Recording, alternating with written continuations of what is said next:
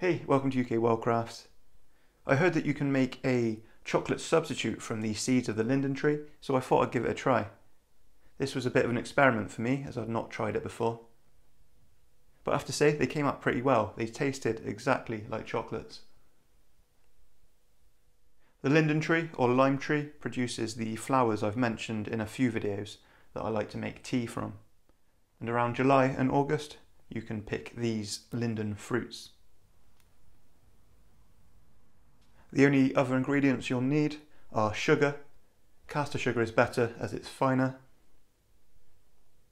And you'll need an oil. In the recipe that I heard of this from, they used a vegetable oil and they made a chocolate paste from it. I decided to use coconut oil as when it's chilled it goes solid. You need to preheat your oven to 180 degrees. Um, remove any of the stems from the fruits and you can see they look a bit like dried peas. Roast the fruits for about 40 minutes at 180 degrees.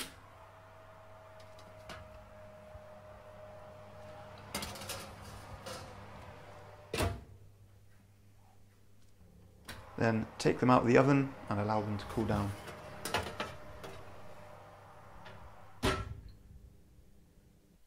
Then you grind them in a blender until they become a fine powder.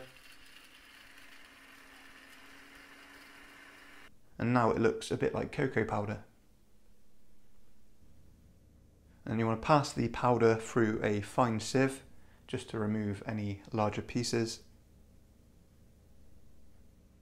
Then you can add some sugar to the powder. I didn't really weigh out an exact amount because I was experimenting, but it just depends on how sweet you want the chocolate. Melt some oil and add that too, and then give it a good mix.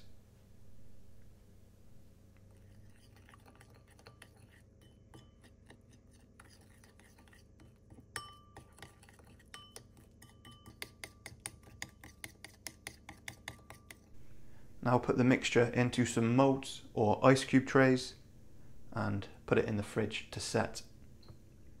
It's quite a simple process and easy to make and it has potential for lots of other recipes. So nice, chocolate from a tree just down the road.